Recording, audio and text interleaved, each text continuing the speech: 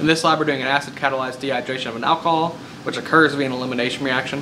When alcohols are dehydrated, they turn from an alcohol to an alkene. Specifically, we're going to be dehydrating 2-methyl-2-butanol with sulfuric acid. We're going to isolate it using distillation, and then at the end, we're going to test the double bond using a bromine test and a potassium permanganate test. All right, so here we have micro we have our micro distillation setup. We have a water condenser here with water flowing through, a Hickman column, and then we have a sand bath that we're going to lower this onto when we get the um, 5 mil conical vial. I've gone ahead and cooled about a mil of distilled water in the vial, just in a nice water bath. And next we're going to add half a mil of sulfuric acid slowly, and then a mil of our 2-methyl-2-butanol. And then we're going to connect it all up, distill it. We're looking to keep the sand bath between 90 and 110 degrees Celsius. And then we're going to put a thermometer down into the um, Hickman column to measure the temperature of the vapor, and we're looking for the vapor that distills and collects in this little um, dip right here between 30 and 45 degrees Celsius. So we'll once we get that, we'll disconnect the water condenser, get a um, glass pipette in there, pipette it out, and begin our workup. So I'm going to go ahead and put this in our sand bath and we'll lower this down get screwed in, connect it to hold it securely. So now we're going to slowly add our half mil of sulfuric acid.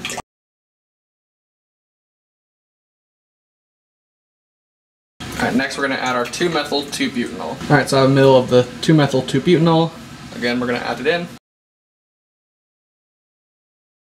Alright, now that we have all our reagents in here, we're going to lower our distillation setup and get it all connected.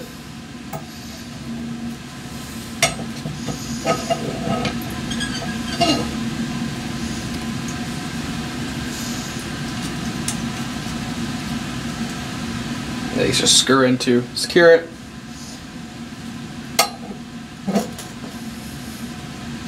Get into the sand bath.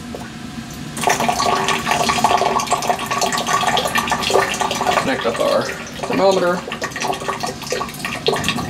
And we want our thermometer to hang out in here, the bot tip of it, so that we're catching the temperature of the distillate, or the vapor as it comes out. So about there, just to show you the setup, we have our thermometer using a clamp just to hold it at the right level, and now we are going to do the distillation. All right, so I've turned the heating on. We're going to keep the temperature of the sand around 90 to 110 in between there. And we want the to collect the distillate that happens when it's 30 to 45 degrees Celsius.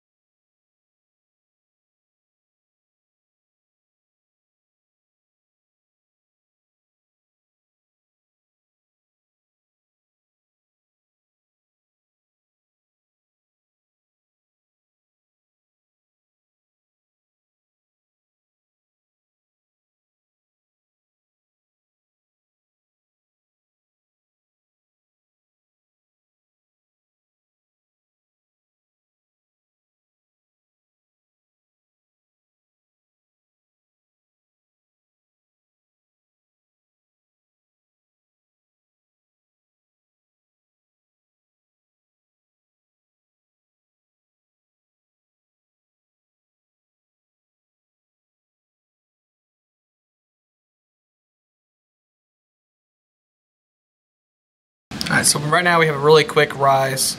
As you saw, it bubbled really fast there. We're at 109.6 on the temperature. I've turned the heat off on the heating plate. We may need to raise it if it goes too much higher, but we're about 38 degrees Celsius on the vapor temperature. And as you can see, we are collecting liquid in here.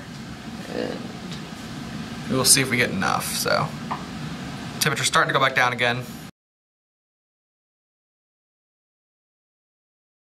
Alright, looks like we have enough liquid in there, so I'm going to go ahead and make sure the heat's off all the way. And raise up our, take our thermometer out, leave it to the side.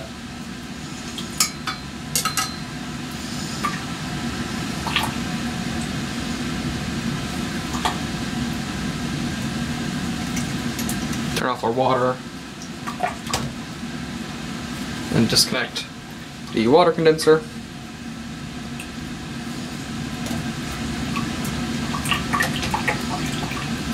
Lay it off to the side. And we'll drain the water out of it in a moment. Alright, so I have a pipette, long end on it, and a small test tube. And we're gonna get just the liquid that's in the side there and put it in the small test tube. Looks like about a mil. We're also going to move this out so as it begins to cool down.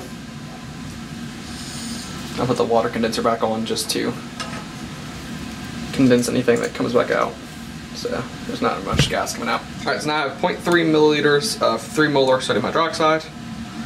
We're to add that in to neutralize our distillate. Alright, so I'm to use this glass pipette to mix up the two layers.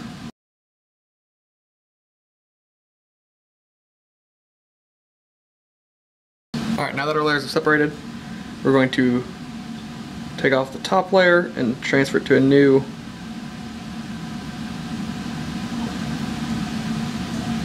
test tube.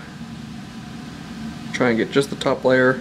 We're going to dry it with some anhydrous sulfate, so if you do get a little of the bottom layer, it's okay. Get this one away. Bring over our new test tube. And we're going to dry it with a small amount of anhydrous sodium sulfate.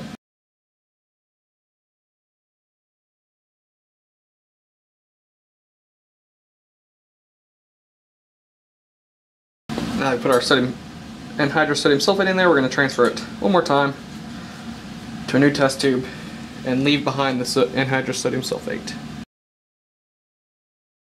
Alright, don't think I can get any more. So I'm going to move this back to the side.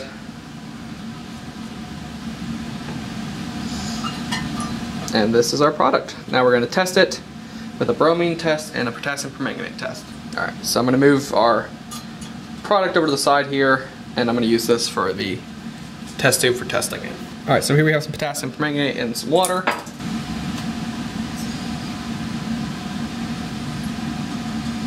All right, so this is a lot more vibrant of color, so we should see a better change, about half a mil or so. Now we're gonna add a couple drops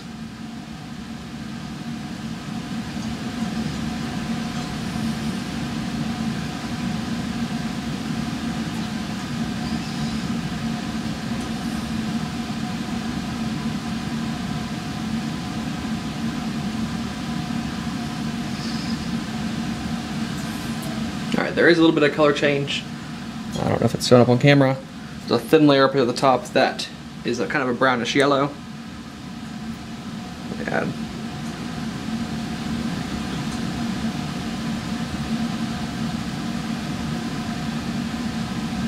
So that is positive for a double bond.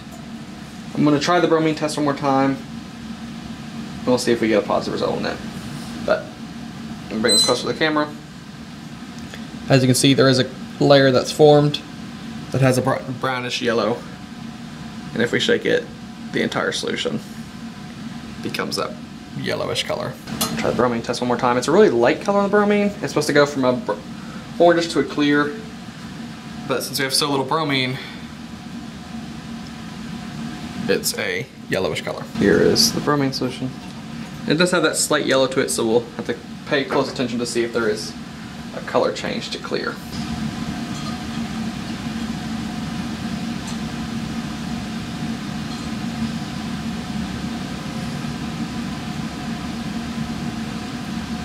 Alright, there does look like there's a little bit of color change. It's hard to tell in this one.